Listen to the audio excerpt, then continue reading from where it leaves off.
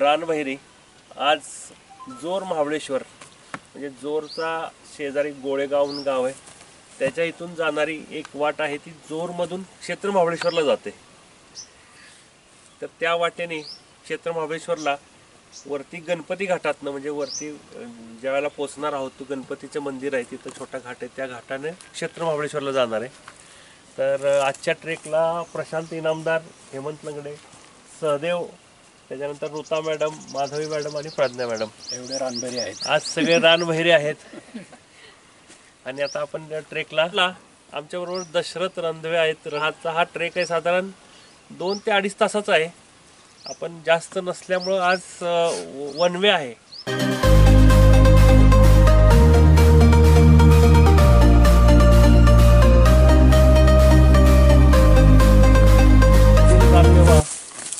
आंबुळकी आहे.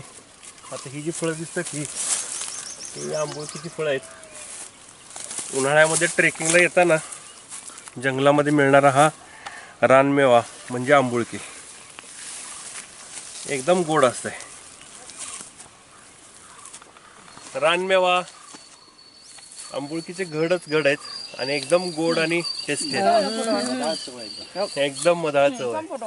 हा ऍक्च्युली माणसांसाठी कमी आणि पक्ष्यांसाठी आणि प्राण्यांसाठी जास्त आहे. आंबुळकी म्हणतात. याचं नाव आहे आंबुळकी. स्थानिक आणि काय होतं की अ, उन्हाळ्याच्या ह्या सीझनमध्ये बाकी कुठली फळं आलेली नसतात.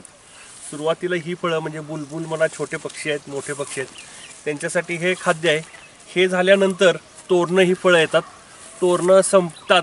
त्याच दरम्यान साधारण पुन्हा करवंद आणि मग जांभळं चालू होतात. तर हे विटॅमिन सी असलेलं बऱ्यापैकी असलेलं ही आंबोळकी ही फळं आहेत. ट्रेकर्सना पण भरपूर फायदा होतो याचा. पाण्याची कमतरता जाणवत नाही सतत खात राहायची फळं शुगर असते पाणी असतं त्यामुळे स्टॅमिना मेंटेन राहतो. शुगर आणि पाणी दोन्ही. हम्म. आता ही तोरणं आहेत ना की अं, जरा मोठी झाली की पांढरी येतात. आणि पांढरी म्हणजे थोडस पिठूळ पण गोडसर असं इतकं छान असतं ते. ही तोरणं आहेत आता ही ती.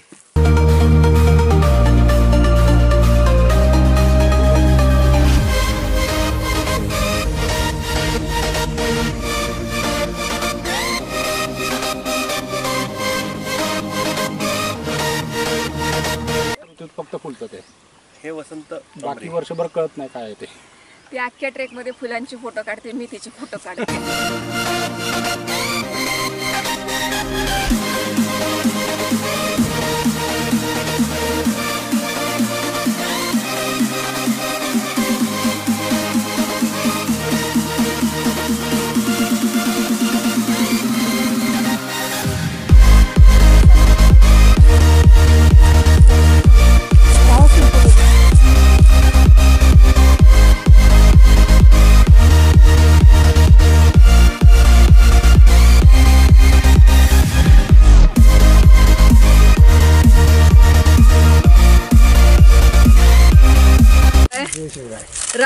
रानभैरी ट्रेकर्समध्ये आम्हाला हे एक डोंगर चढताना भेटलेले दादा आहेत. राम राम दादा. राम राम. आपलं नाव सांगा पूर्ण. दत्तात्रय मारुती सपकाळ. आणि गाव? जोर. आणि आता तुम्ही चालले कुठं? महाबळेश्वरला. महाबळेश्वर म्हणजे नक्की नवीन महाबळेश्वर. अच्छा मग तिथं कशासाठी जाणार? दुकानात काम आलाय. चण्याची किच्या वरती चा- फुटाणे तयार करण्याच्या भट्टीवर. आणि तुमचं वर्किंग आवर्स म्हणजे किती ते किती वाजेपर्यंत काम करणार? आम्ही आता दहा ते संध्याकाळी पाच. दहा ते पाच. आणि मग येणार कसे माघारी तिथून चा- गाडी आहे वरती क्षेत्रात गाडीने परत येतो इथून का डोंगरात खाली. आता ते जाताना चालत जाता. जाताना चालत. मग साधारण किती अं, किलोमीटर भराल? आता इथून तसं साधारण तर नऊ किलोमीटर आहे आपल्या आणि. मी वेळ किती घाल? आम्हाला तसा एक तास लागतो वर जायला. नऊ किलोमीटर टोटल असेंड आणि एक तासाचा वेळ घेणार आहेत दादा. किती वर्ष आपण असं अपडाऊन मला तीस वर्ष झाली. आणि पावसाळ्यात काय पावसाळ्यात पण. म्हणजे तुम्ही द तीनशे पासष्ट दिवस असेच चालेल, चालता. बरं जोरगावची साधारण लोकसंख्या काय तुमची? आता उंबरा आमच्याकडे किती? अं, उंबरा आहे शंभर पण दीड एक हजार रुपये लोक लोकसंख्या आहे. ते बऱ्यापैकी तुम्ही बरेच जण असे जात आहे सगळे महाबळेश्वरलाच आहेत पण ती हॉटेलवरती आहेत. काय लोक राहतात काय लोक काही लोक अपडाऊन आहेत. तशी त्या वाटेनं आता जवळजवळ तुम्हाला तीस एक लोक तीस पस्तीस एक लोक गावली असतील. रोजची अपडाऊन करणारे छत्रपती शिवाजी महाराजांनी ह्यांच्याच जीवावरती ना हिंदवी स्वराज्य उभं केलं. हे खरे मावळे आणि हे खरे शिलेदार महाराष्ट्राचे. जय महाराष्ट्र. जय राम राम. महाराष्ट्र.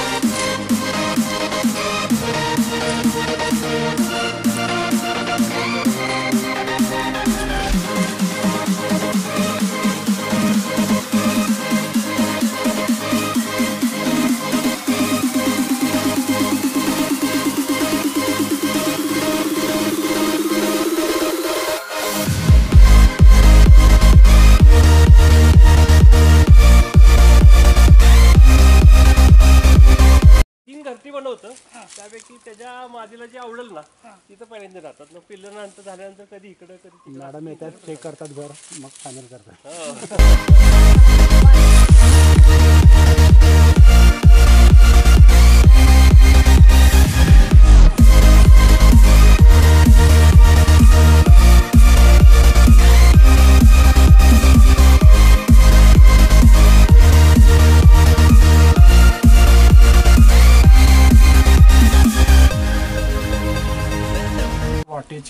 खून पाण्याचं टाकं.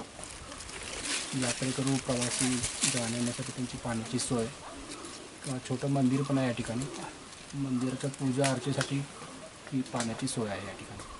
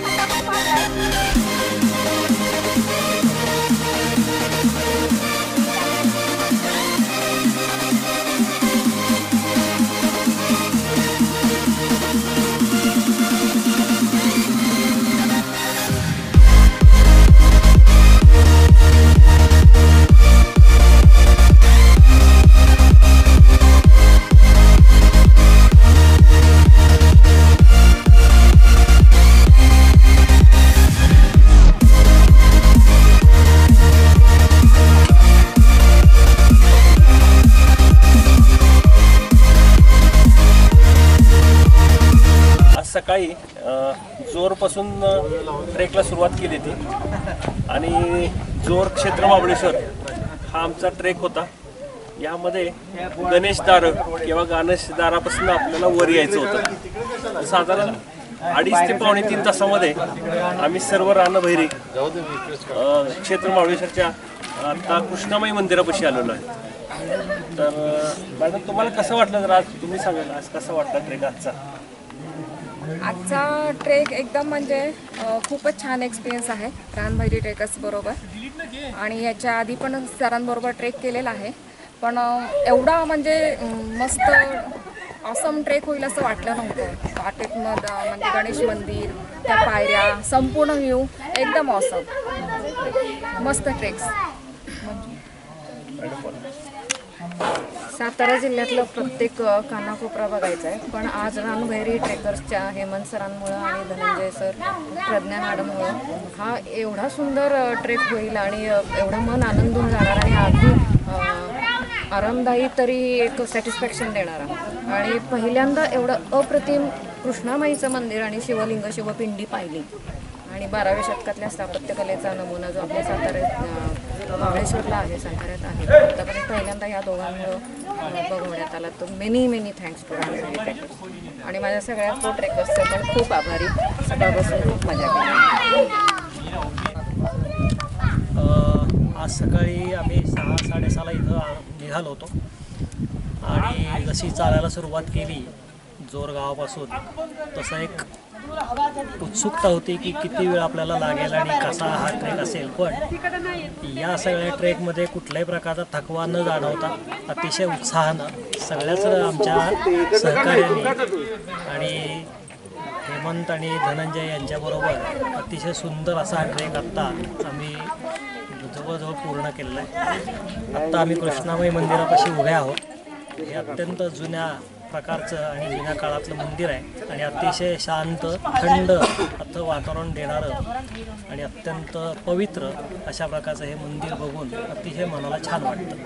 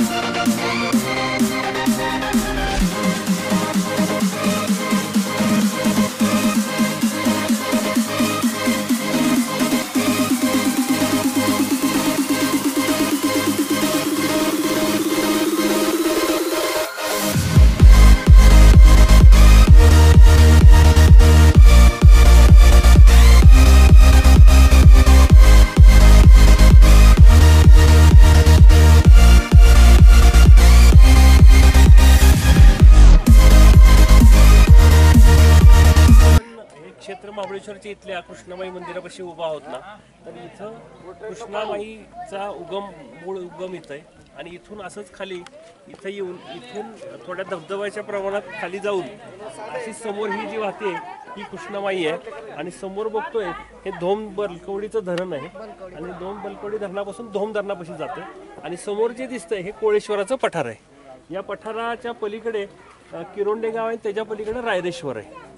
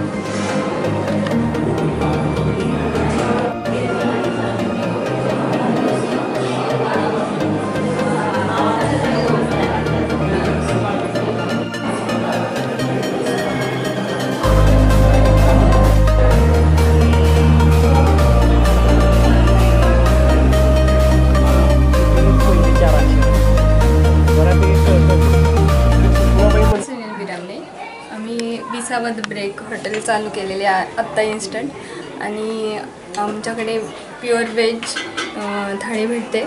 नॉ न ब्रेकफास्टसाठी इन्स्टंट पोहे रवा उपमा सँडविच इन्स्टंट करून देतो. आणि सगळं जेवण पंचगंगा मंदिरातल्या पाण्यापासूनच बनवलं जातं. आणि योग्य ती काळजी घेतली जाते पाण्या म्हणजे स्वच्छतेची. परत कस्टमर कसं पुन्हा येईल त्याची. पंचगंगेच्या पाण्यापासून बनवलेल्या जेवणामुळे त्याला वेगळी टेस्ट येते.